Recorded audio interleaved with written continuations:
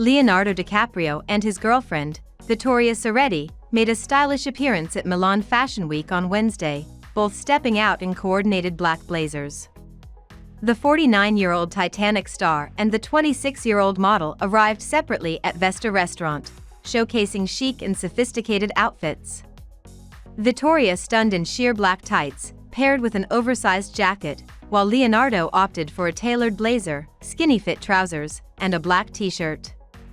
He completed his look with a chunky gold chain, trainers, and a toothpick, adding a casual touch to his ensemble.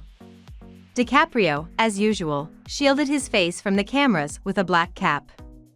Vittoria, meanwhile, exuded elegance in a skimpy black vest and high-waisted pencil skirt, accessorized with black kitten heels and a square clutch. Her long brunette hair was neatly styled in a bun. The couple, who have been linked since summer 2023, have sparked engagement rumors recently, with Vittoria being spotted wearing a large heart-shaped diamond ring during a holiday in Italy.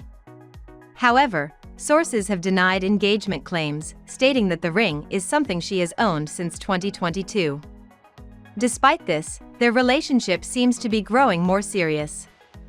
Vittoria was previously married to Italian DJ Matteo Milleri from 2020 to 2023, while Leo was briefly rumored to be dating Gigi Hadid before being linked to Ceretti.